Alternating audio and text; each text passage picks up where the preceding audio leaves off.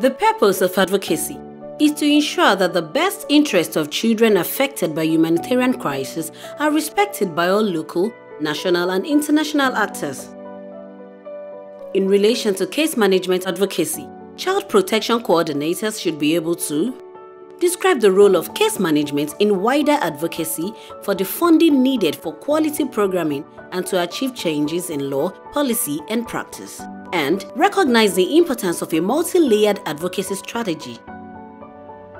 Child protection case management is a life-saving service. During the COVID-19 pandemic, it is especially important to remind the key stakeholders that caseworkers are essential workers. Individual advocacy with local authorities or service providers might be necessary to ensure a child received safe, timely and appropriate care. Non-identifying case management data such as types of cases, trends and size of caseload serves as a good evidence base for wider child protection advocacy. Likewise, if a caseworker is being blocked from a location, that might be indicative of a broader issue related to humanitarian access. Humanitarian donors and members of the humanitarian country team may benefit from the reminders that safe and appropriate case management requires significant human resources in order to prevent further harm and mitigate risk among children, and what consequences are likely if adequate funding is not provided.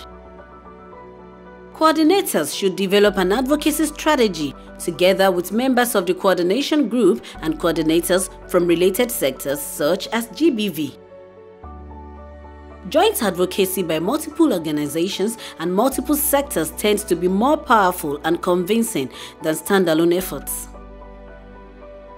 As well as taking a joint approach, it is important to look at the layers of an advocacy strategy to ensure that different issues are tackled with different actors at different levels.